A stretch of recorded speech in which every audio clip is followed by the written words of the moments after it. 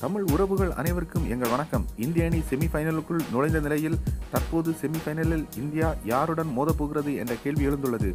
உலகக்கோப்பை கிரிக்கெட் போட்டி இறுதிக்கட்டத்தை எட்டியிருக்கிறது. இன்னும் சரியாக பத்து நாட்களில் யார் சாம்பியன் என்று தெரிந்துவிடும். இதனால் இனி நடக்கும் போட்டிகள் அதிக முக்கியத்துவம் பெறும். அதே சமயம் முக்கியமான லீக் ஆட்டம் ஒன்று இந்திய அணியின் தலைவிதியை நிர்ணயிக்கப் போகிறது.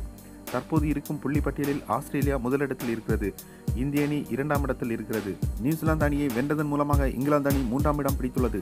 நியூசிலாந்து அணி நான்காவது இடம் பிடித்துள்ளது. இந்த அணிகள் தான் தற்போது செமிஃபைனலுக்குள் செல்லப் போகிறது. அதன்படி தற்போது இருக்கும் புள்ளிப்பட்டியலின்படி இந்தியா இங்கிலாந்து அணியை செமிஃபைனலில் சந்திக்கும். ஆஸ்திரேலியா நியூசிலாந்து செமிஃபைனல் மோதும்.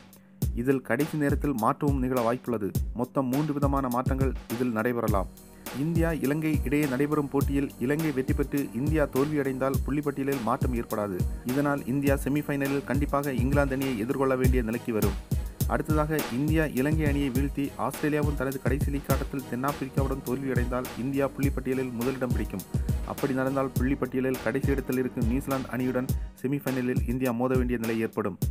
அப்படி இல்லாமல் ஆஸ்திரேலியா தென்னாப்பிரிக்கா போட்டி மழையால் தடைபட்டு அந்த அணிக்கு ஒரு புள்ளி வழங்கப்பட்டாலும் இந்தியா இங்கிலாந்து அணியை தான் செமிஃபைனலில் சந்திக்கும். இந்தியா இலங்கையுடன் வென்றாலும் தோல்வியடைந்தாலும் ரன் ரேட் அடிப்படையில் இங்கிலாந்து அணியை தான் செமியில் சந்திக்கும். இதனால் மூன்று வாய்ப்புகளில் இரண்டின்படி இந்தியா இங்கிலாந்து தான் செமிஃபைனலில் மோத இருக்கிறது இந்தியா இங்கிலாந்துடன் மட்டும்தான் இந்த லீக் தொடரில் தோல்வியடைந்தது. இதனால் செமிஃபைனலில் அதேபோல் தோல்வியடையாமல் இருக்க இந்தியா கண்டிப்பாக கடும் முயற்சி எடுக்கும். இந்த ஆட்டம் மிக முக்கியமான போட்டியாக இருக்கப் போகிறது என்பது மட்டும் குறிப்பிடத்தக்கது.